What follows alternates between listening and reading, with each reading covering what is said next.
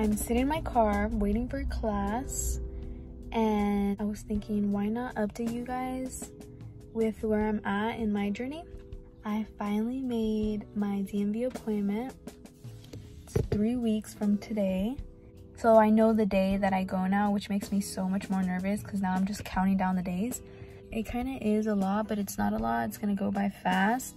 I mean, this whole journey has gone by fast. It's already my, I'd say my third month in driving. I started February 22 and it's April 23rd, I think. So that's already my two month mark. So I've been driving for two months now, practicing. I feel uh, a little bit ready, but I think I just need these three last months, I mean three last weeks to really like get that confidence. But I'm nervous, guys. I'm so nervous. Like, I'm so nervous. Like, it's scary. I'm scared.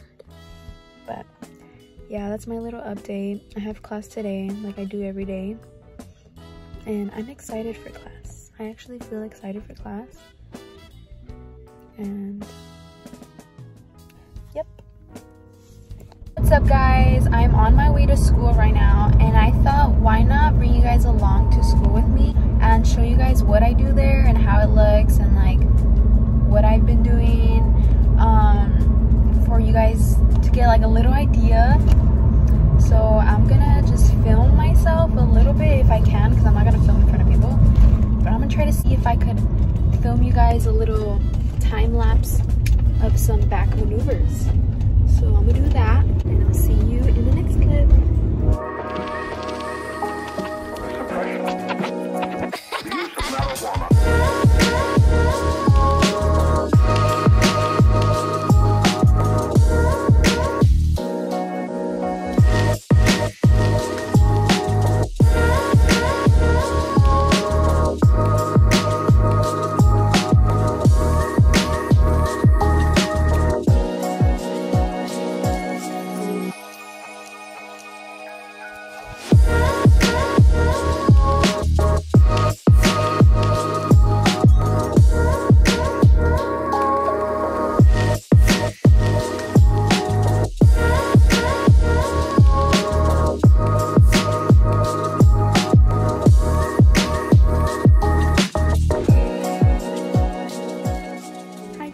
I just want to film a little update because it has been a while since I filmed the last update. I am 11 days away from my test now and I'm pretty excited. I'm not gonna lie, I don't feel that nervous anymore and I've been kind of like excited in a good way and I've done some practice runs and kind of just been going over everything and yeah. Hi guys, I just had my last day of class.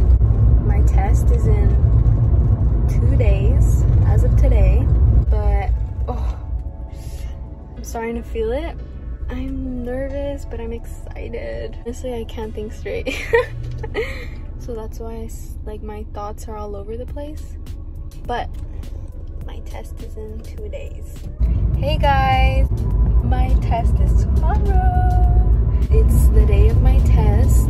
I feel like it's a great day to pass. And I feel like gonna pass. I'm on my way to school right now. It's 7.23, but I've been up since like 5 in the morning, guys. Even yesterday, I was up since 5 in the morning. I was brushing my teeth though, and I felt like gagging because of how nervous I got, but that usually happens when I'm nervous. Other than that, I feel fine. I should eat something before my test, but I don't know if I'm gonna have an appetite.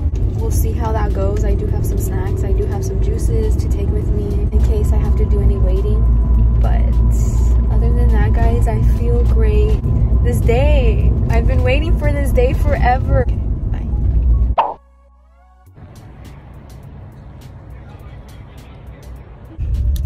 What is up, guys? I didn't pass. but why am I smiling? I'm smiling because I didn't pass, but I passed. And what that means is I got pretty far along in my test today. I passed my inspections. I passed my maneuvers. I just failed in the road test, which is a bummer, but honestly, I feel like I did so much better than I thought I would because I'm not gonna lie guys, I felt like I was ready, but when I drove to the DMV test, I was messing up and I got super nervous and I was already like doubting myself.